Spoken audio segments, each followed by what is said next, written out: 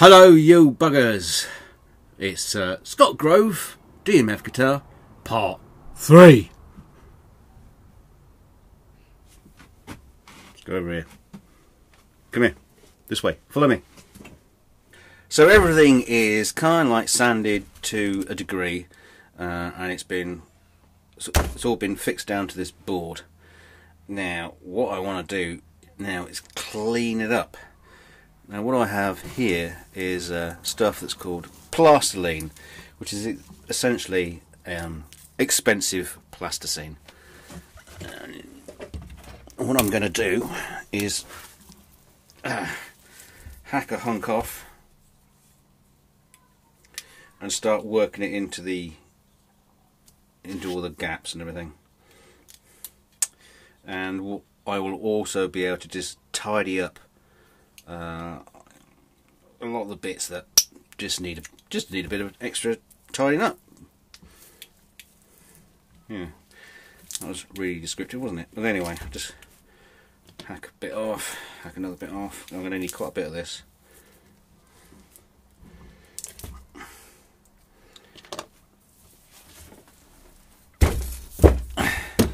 Now this plasticine or plastiline is actually really really hard. It's used for really quite detailed sculpting.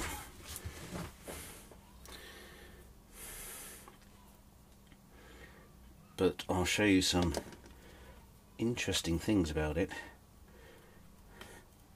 as we go along. So I'm just plugging gaps.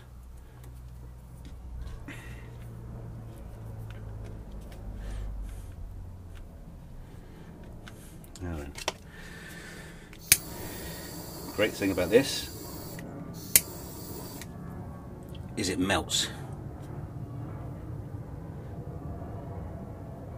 And you can really, really work it in. And the other thing about it is because it's a, it's a kind of a I'm not too sure what the base is. It's an oil based substance in there. Um, you can also use lighter fluid. In the same way if you were using clay you can use water to smooth out clay. You can use lighter fluid and brush that in.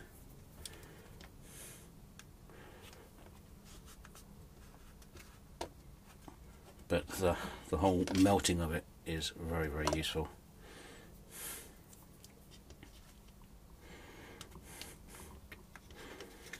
because it really gets in there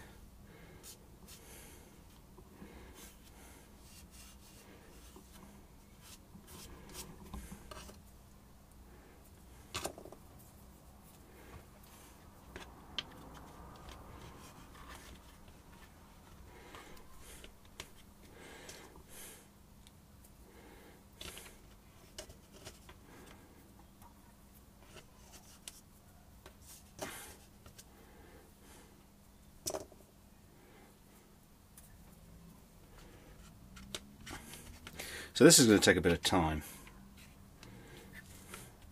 So, a bit of movie magic. We'll speed it up.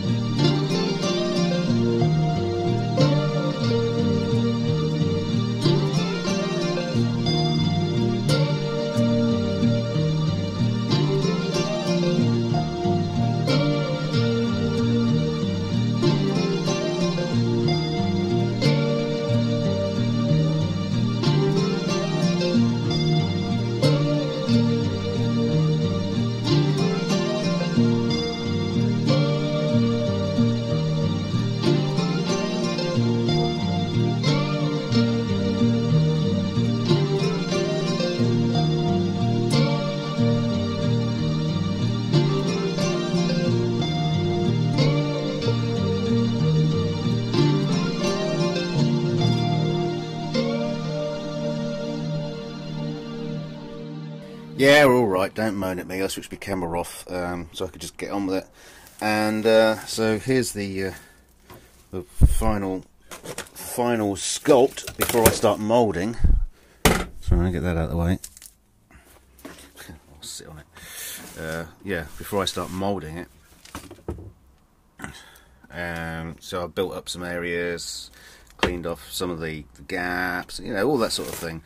Is it perfect? No. This is it's just a, constant process of eliminating error, and you get finer and finer and finer. This, once this is moulded, I'll be able to clean up the mould, and that will get rid of uh, lots more little bumps and nicks and things like that, and take off a few uh, uh, high spots and things like that.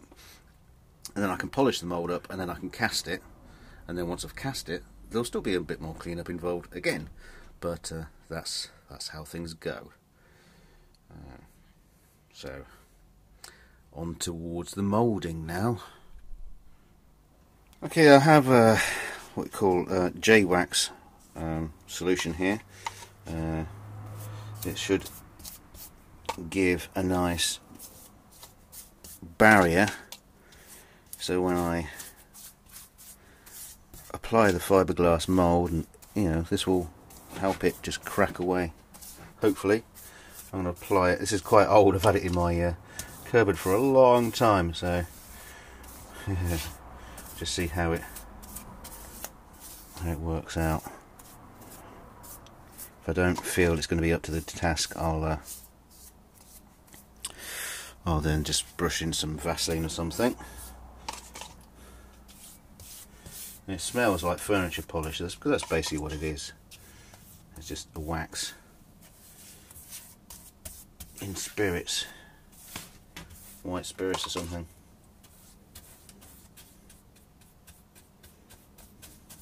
You could probably make this yourself just using some uh, beeswax and white spirit. Probably do exactly the same job.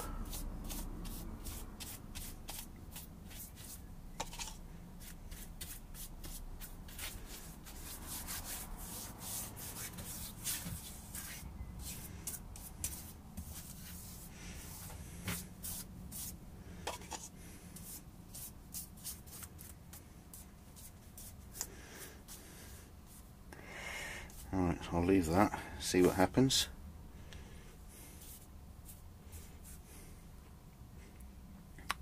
See if it needs another coat.